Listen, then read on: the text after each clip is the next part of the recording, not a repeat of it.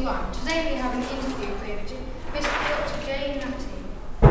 So, you can apparently replicate the leaves of a plant, so droplets come off into a material. Is that true? Yes, and I'll show you. Bring in the plants. Now, if I get some water and drop, use this pipette, so drops on the leaf, it will, wait, that will stay in its spherical form. And then it will roll off. And this is using nanostructures, which is what keeps the droplets in its spherical form. And now, if I show you the material and to the lab.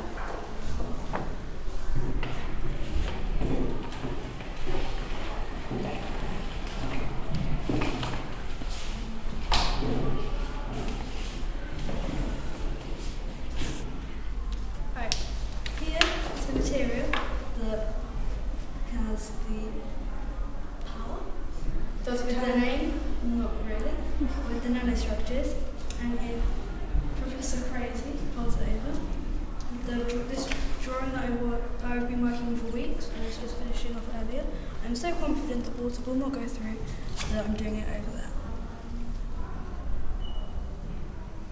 As you see, it keeps its spherical form in droplets.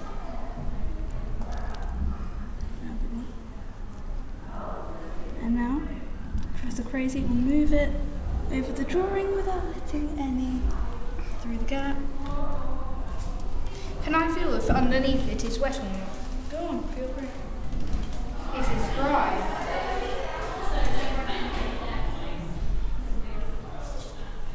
And it is completely